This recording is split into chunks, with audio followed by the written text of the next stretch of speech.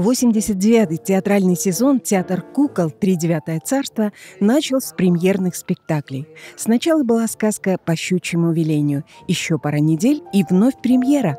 На этот раз творческий десант из Санкт-Петербурга, режиссер Наталья Слащева и художник Виктор Клочко воплотили на сцене «Золушку», Авторы отошли от классического варианта и предложили зрителю свою оригинальную версию. Судя по декорациям, она не блещет яркими красками, пышными нарядами и даже привычных шермовых кукол вы здесь не увидите. Все предельно сдержанно и лаконично. На сцене всего четыре артиста, которые крепко цепляют публику и не отпускают до конца спектакля. Будьте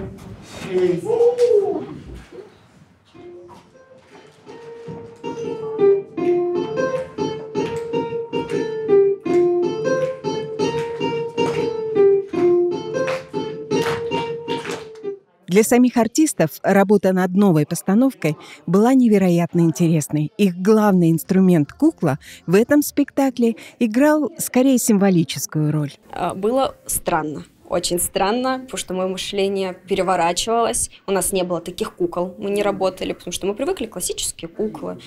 Девочка, значит, это девочка с глазками, ручками и так далее. Это было сложно.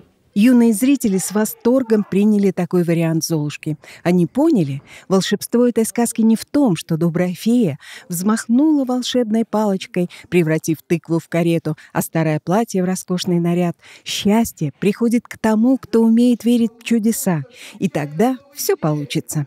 Сказочный принц найдет ту единственную, которая отдаст туфельку, и никто на свете не сможет отобрать у них счастье. Но это еще не финал.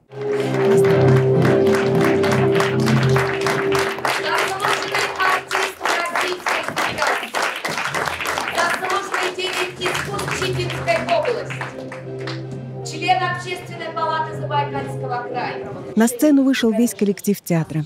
К ним присоединилась министр культуры Забайкальского края Ирина Левкович.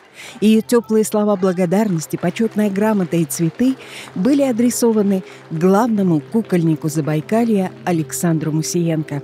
Во всяком случае, полувековая история нашего театра кукол была под его контролем. Он прошел путь от артиста до директора. Все время, пока я был в театре, пока был директором, когда от меня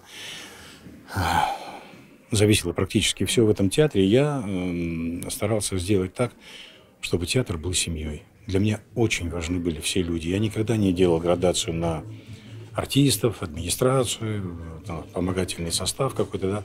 Для меня все были всегда равны. И поэтому, конечно, вот это все сейчас с кровью отрывается.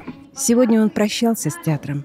Так сложились обстоятельства – Александр Мусиенко уезжает навсегда в город Новосибирск. Не могу сказать прощай. Действительно, потому что, ну, во-первых, всю жизнь практически вместе. Во-вторых, э, сложно расстаться с таким человеком умным, э, интеллигентным, мягким, уникальным актером-кукольником. И именно кукольником, потому что э, не каждый может быть актером театра кукол. Это от Бога. Александр Николаевич не просто хороший актер, не просто хороший руководитель, а замечательный человек. Добрый, отзывчивый и всегда придет на помощь к нам. Я думаю, что такой человек, как он, ну, не затеряется нигде. Он действительно найдет и создаст и сможет что-то развить, что-то новое, интересное, доброе. Мы прожили большую творческую жизнь, было много доброго, хорошего, были и грустные моменты, но они были, они прошли.